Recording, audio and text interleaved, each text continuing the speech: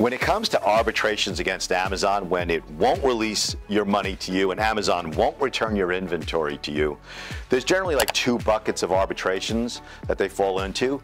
One is the expedited arbitration, which means you're claiming $50,000 or less against Amazon. And there's non-expedited, where it's $50,000 or more.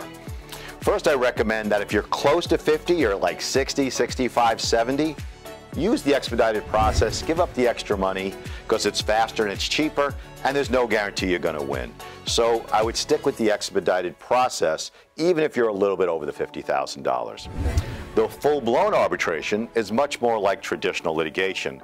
You have a lot more rights to discovery, getting information from Amazon.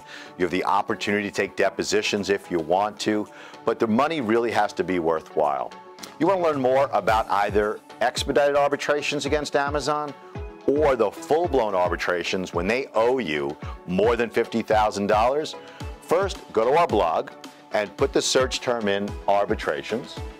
And then if you want to speak with me or a member of our arbitration team, give us a call at this number or send an email to this address and we'll be in touch with you as soon as possible. Our entire firm, we are here solely for Amazon sellers.